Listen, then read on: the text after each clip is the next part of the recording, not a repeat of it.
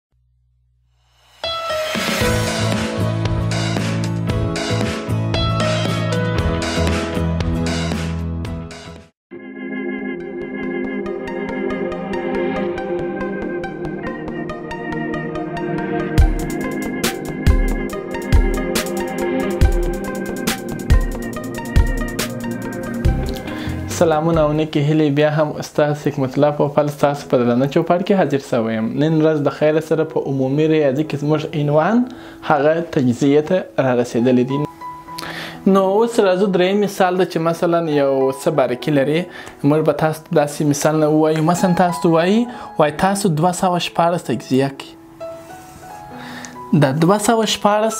څنګه تجزیه کیږي تاسو خو دونی پیل چې کوم عدد چې یوې څخه نایسته پر یا جوت وي په تجزیه کې باید دی اول پر دوه تاسو وویشي که څه هم پر درې ویشل کیږي دا عدد خو کله چې پر کوچنی عدد ویشل کیږي لوی عدد ته باید لاړ نسو نو دی باید اول پر دوه وویشو دوه چې پر دوه ویشم یو ګوري خبره په دغه ځای کې ده دلته دا یو خو پر دوه نه ویشل کیږي نو تاسو راځي دا شپږ ملګری کوي چې واشپاړه سي نو مخکې له دې چې تاسو دا یو د شپږ ملګری کوي یو چې پر دوه نه رسیږي تاسو شپږ ملګری کوي یو وارې صفر کښته که په یواز کې بیا دا ملګری کوي که په تجزیه کې دا دوام یا دریم یا څلورم عدد پر ده د ویش وړ نه و تا یې بل عدد ور ملګری کوه نو یو ور لاندې صفر کښته که بیا ملګر چا ور جوړه که بیا به داسې شپاړس شپاړس بیا پر دوه باندې کېږي اته دا چې یوې څخه نه صفر یا جوت به تر هغه ساعته پورې به موږ دا پر دوه باندې ویشو یو پر دوه د ویش وړ نه دی نو دا ملګرچا ور جوړوي چې لس سي ته به نه وایې چې دلته ولې ملګر چاور جوړی ولې صفر نه کښته کوي چې اوله د د ویش وړ نه یې پروا نه کوي صفر مه کښته کوه دا یې ملګری که ولې که دوام یا دریم د ویش وړ نه بیا به تاسو صفر کښته کوئ نو دا به سي لس لس چې تاسو پر دوه ویشي دا کېږي پنځه او اته چې تاسو پر دوه ویشي دا کېږي څلور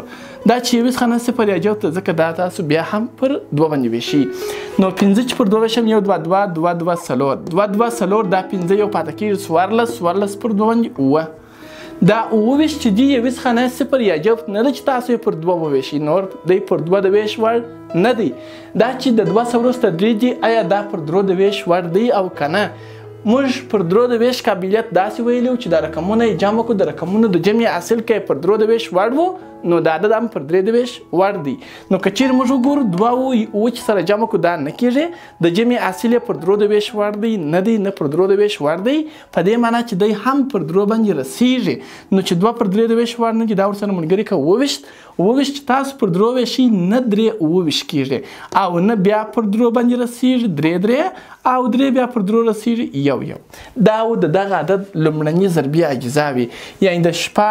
د 214 د عدد لومړني ضربي اجزا وي چې دي 2 ضرب 2 ضرب 2 او بیا درې ضرب درې ضرب درې یعنی که دا عددونه موږ سره ضرب کړو موږ ته دوه سوه شپاړس عدد څه شي کوي په لاس راکوي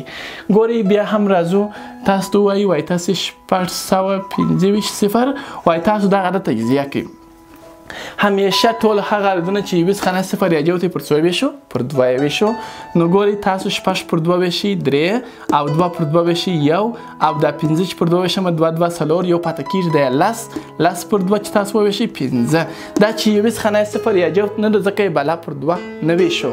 نو پر درو باندې ګورو چې دا پر درو بیا د ویش ور دی که نه نو پر درو چې ګوري رقمونه به جمع کوي درې یو څلور څلور دوه شپږ شپږ پنځه جمع کوي دا کیږي یولس د دې د جمع اصل یولس دی د جمع اصل یولس پر درو د ویش وړ نه دی اوس که دولس وای د جمع اصل دولس وای بیا پر درو د ویش وړ نو دی هم پر درې ویشلی سوای خو دا د جمع اصل یولس دی پر درو د ویش وړ نه دی ځکه عدد یې هم پر درو نه ویشو نو د دې څخه وروسته څلور دی څلور مرکب عدد دی پر هغه تجزیه نه کیږي همېشه تجزیه پر لومړني اعدادو کېږي نو چې پر څلور یې نه وېشو پر پنځو وېشو ځکه موږ د وېش په قابلیت کې ولو هغه عددونه چې یوې څخه نه یې صفر یا پنځه پر پنځو د وېش وړ دي دا چې یوې څخه نه یې پنځه نو پر پنځو د وېش وړ دی نو ګورئ درې چې پر پنځه وېشم درې پر پنځه نه رسېږي دا ملګرتیا ور جوړوو چې یو دېرش سي یو دېرش پر پنځه باندې شپږ پنځه دېرش اووه پنځه پنځه دېرش بیا اضافه کېږي نو ځکه شپږ پنځه دېرش دا یو دېرش و یو پاته کېږي دولس دولس پر دوه ویشم دوه پنځه لس دا دولس و دوه یې پاته سوه هغه له پنځه سره ملګري کړه چې پنځه ویشت سي پنځه ویشت پر پنځه باندې پنځه دا بیا که وګورو یو څخه نه پنځه ده بیا هم پر پنځه د ویش وړ دي نو چې پر پنځه ویشم یو پنځه پنځه یو پاته کېږي دولس دولس پر پنځه باندې دوه پنځه لس دوه پاتې کېږي دا پنځه ویشت پنځه ویشت پر پنځه باندې پنځه تر څو چې یوې خانه پنځه نو موږ اجازه لرو چې دا پر پنځو باندې چې شکو تقسیم یې کو نو یو پر پنځه نه رسېږي دولس دولس پر پنځه باندې دوه پنځه لس دوه پنځه لس دا دولس او دوه پاتې دا پنځه ویشت پنځه ویشت پر پنځه باندې پنځه او دا پنځه ویشت بیا یوې خانه د پنځه را پر پنځو یې ویشو پنځه ویشت پر پنځه باندې پنځه او پنځه بیا پر پنځه باندې کېږي یو په دغه ډول تاسو کولای شئ یو عدد چې شي تجزیه یې کړئ ګوري تاسو ته وایي وایي تاسو موږ ته اووه سوه نویشت عدد تجزیه کړئ موږ وایو چې دا خو یو هیڅ خانه صفر یا جوت نه ده نو پر دوه یې نه ویشه نو چې پر دوه نه رسیږي آیا پر درو باندې د ویش وړ دي که نه نو رقمونه یې جمع کوي اوو دوه نه نو نه اتلس د جمع حاصل یې اتلس دی اتلس پر درو پوره رسیږي ځکه شپږ درې اتلس کېږي د جمع حاصل چې پر درو د ویش وړ وي دغه عدد هم پر درو باندې د ویش وړ دی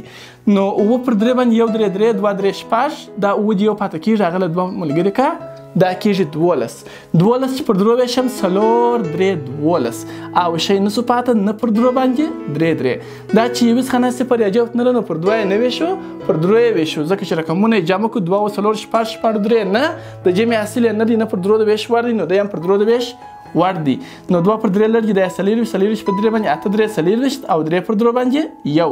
دا رقمونه چې جمع کو نه کیږي نه بیا پر درو د ویش وړ دی نو دی هم پر درو د ویش وړ دی نو دوه درې شپږ ولې درې درې نه بیا ډېرېدل دوه درې شپږ دوه پاته کېږي هغه د یوه ملګري که دا یوویشت یوویشت پر درو باندې اووه درې یوویشت او اوویشت پر درو باندې نه درې اوویشت او نه بیا پر درو باندې چې وویشم درې